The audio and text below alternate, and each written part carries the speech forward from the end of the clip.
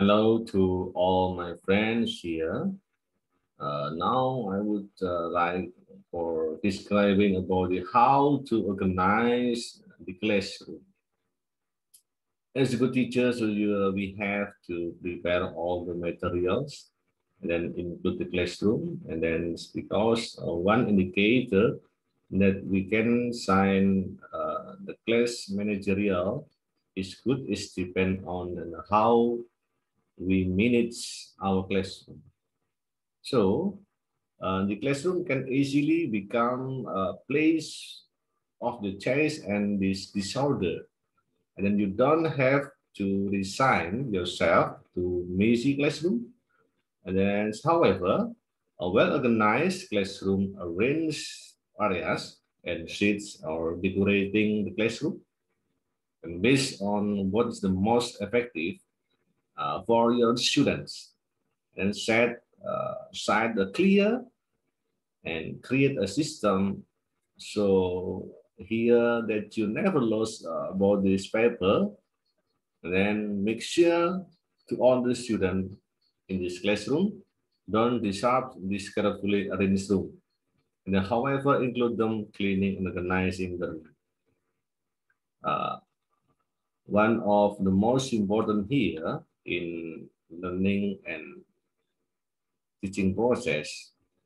So we may creating a tidy space. What does it mean? And may we have uh, clear off the desk that the very first place you should start is depend on the desk. A clean, well-organized desk sends an important message to students then clear off any items from your desk that you're not immediately using and design drawer for this item. If you always have many papers in your desk, put them in a filing cabinet or instead because uh, student can construct their individually by uh, some project that all the students have different paper, different project based on their test. And then personal, uh, personal writing tools, okay? And the other is not being uh, used by students. By students should be put in the drawer and then use a small divider storage boxes, uh, store this in each drawer. And then uh, if the student leave the paper, put a box and collect all the paper and label in your mailbox if it is not in pandemic. But uh, based on pandemic, so we can use uh, LMS or learning management system. And then the second, uh, move the student desk based on the what type of activities that you want to do.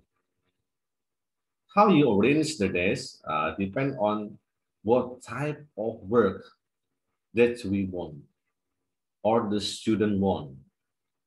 Uh, we can move the test before class each day or after the student finishing uh, learning process.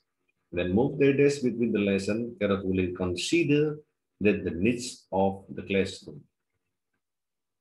For a classroom discussion, may move the desk uh, in a circle and then uh, for small group activities and discussion, moving groups uh, for up to five person. If uh, in LMS, uh, learning management system, so we can conduct it in a room, and then we can uh, choose for up to five the student and stay in virtual room. And then uh, testing the student encourage uh, them to work individually, place the desk apart with all the desks facing front of the room. If you're working uh, with the tutors or elementary students, so leave plenty of the floor space clear for activities. And because uh, here some students may need extra space, either because of physical or learning disability, accommodate the students as best as you can. So here there is no dividing because all the participants have same. And then third, mean uh, divide the rooms into design areas for different activities. Whatever you are setting up the station for the first graders or arranging a room for the high schoolers, make sure that each of area as the room has a consistent, easily identifiable purpose. And then uh, elementary school here, the student might have stations such as uh, art station or reading station, reading corner, yes, math station or individual workstation. Uh, we can what they serve uh, some place that uh, depend on their subject. And then all the students may not need uh, the station. Instead, the level uh, where the students show turn in work, leave their backpacks, pick up all our, uh, what's that, writing tools, and then or their laptop maybe. But if in LMS for learning management system, so we have a classroom or the other such as, for example, uh, there are some tools that can be designed by the teacher. Okay, so we can uh, that take all the students uh, project by using online system and then put up signs and levels for each for the part of the class. That's for example, uh, we may uh, put a sign of up uh, over that bookshelf that say reading areas and use the sign that submit a sign after finishing all. And then uh, may, uh, if all the participants have uh, finished, so we can give a review and then uh, take all the student in discussing forum.